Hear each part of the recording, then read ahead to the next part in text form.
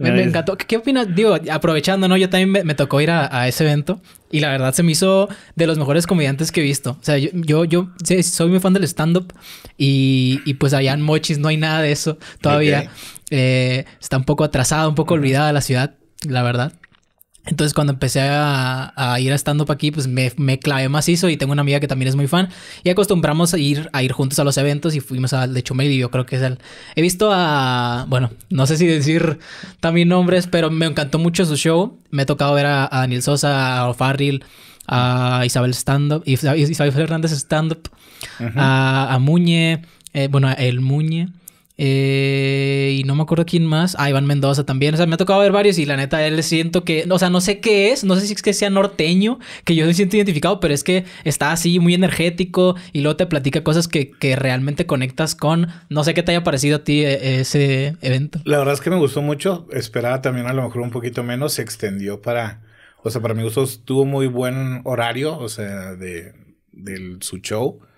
Buen y sí, y la verdad es que creo que sí andaba eufórico porque estaba en Chihuahua y sí me, agradó mucho su, su stand. ¿Tú eres fan de Chumel desde antes o a Chumel por casualidad? no, a Chumel lo sigo desde que tenía el pulso, no sé qué temporada, si desde la primera o la segunda eh, lo, lo, sigo en, por redes sociales. Ahora que empezó la radio de la República, pues también es como me voy enterando de las noticias. Y de ahí empecé a conocer este, a los chicos, hicieron Cinerts. Eh, lo que es Víctor, Gap, eh, ahí se me fue Oz, y luego también está eh, Ramos, y, y pues haz de cuenta que ya también los empecé a seguir, pero como ahí es una comunidad más pequeña, como que era muy, y lo empezaron a hacer en Twitch, o se lo tenían como que en YouTube y luego se lo cambiaron a Twitch. Entonces el que comentaras y ya te respondían como que empezamos a conocernos más. De hecho a Víctor este, lo había conocido un poquito antes de que lanzaron lo de porque vinieron todos los del Pulso a Chihuahua y los quise invitar a comer. Y el único que me respondió fue Víctor. y nos fuimos y nos tomamos una cerveza allá a Casa Cervecera Bolívar, allá a la casa de mi sugar kilo. Eh, y de ahí empezamos a hacer este buena mancuerna yo y Víctor. De hecho, ayer subí una foto de mis historias ahí con Víctor. Fuimos también a, a tomarnos otra vez una cerveza al gallito inglés. Y pues la verdad es con el que menos he tenido contacto. Digo, más bien fue con. ¿Ahí lo conociste por primera vez? Ajá. Ok. Pero con Víctor sí he tenido ya bastante convivencia.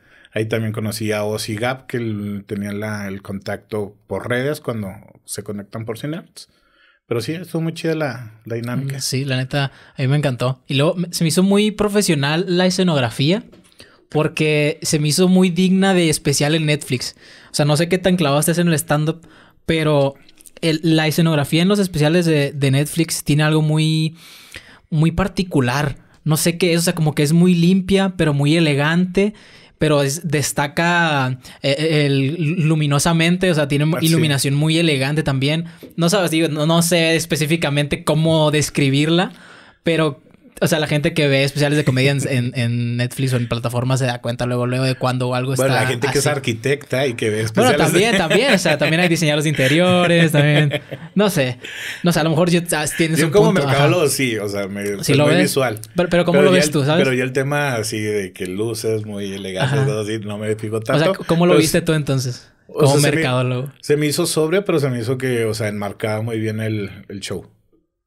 O sea, por ejemplo, el de la cotorriza era demasiado este saturado. Pero pues también, estamos hablando de la cotorriza, es su, esquema. Fui al de Alex Fernández, el de. El Cintoronja. El de Cintoronja. Eh, pues también se me hizo, se me hizo padre. Pero sí, el de Chumel, como que sí es más sobrio, digo, es más al estilo de él.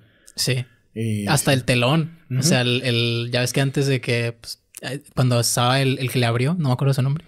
Este, pues tenía ahí Chumel Torres, el blanco de tus burlas. Sí. Creo que se llama, y hasta eso se veía elegante así. O sea, yo decía, no manches, qué, qué bien hecho está esto. Se nota que tiene un equipo de trabajo muy, muy bueno.